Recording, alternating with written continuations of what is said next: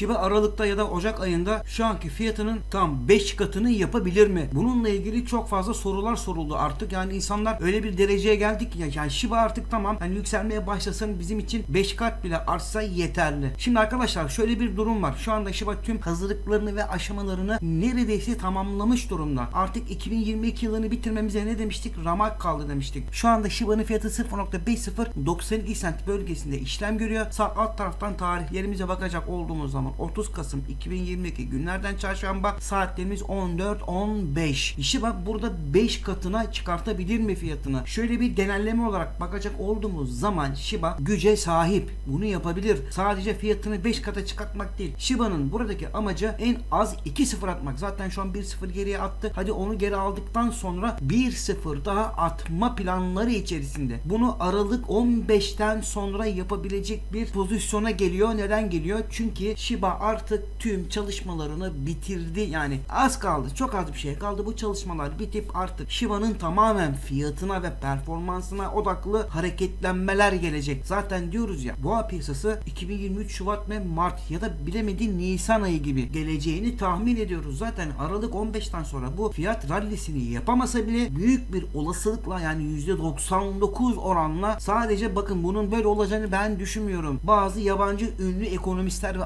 analistler bile Shiba daha doğrusu 2023 Mart ve Nisan ayında boğa piyasasının geleceğini büyük ölçüde tahmin ediyor. Ama eğer böyle bir şey olursa Shiba sadece fiyatını 5 katına çıkarmakla sınırlı kalmayacak. Ne dedik birkaç video öncesinde boğa sezonunda konuşulacak olan en çok kripto para birimi Shiba. Çünkü artık Shiba'da zaten böyle bir potansiyel var ama ne dedik bunu yaptırtmıyorlar. Shiba'nın boynunda bir tane tasma var. Bu tasmayı sadece bir kişi tutmuyor. 500 tane insan tutuyor bunun tasmasını. Bu sebepten dolayı Shiba sen oraya, Shiba sen buraya, Shiba otur, Shiba sakın kalkma gibi yönlendiren çok fazla yatırım. Yani Shiba'nın sahibi var. Ben şahsi adıma inanıyorum ki Shiba Aralık 15'ten sonra güzel yükselişler yaparak boğa sezonuna kadar öyle artık aman aman eskisi gibi sert düşüşlerin getireceğini pek tahmin etmiyorum. Artık yüzümüz gülmeye başlayacak. Size de bu videoda kesinlikle yatırım tavsiyesi vermedim. Sadece kendi düşüncelerimi sizlere aktardım. Bir sonraki videoda görüşmek üzere. Bol kazançlarınız olsun.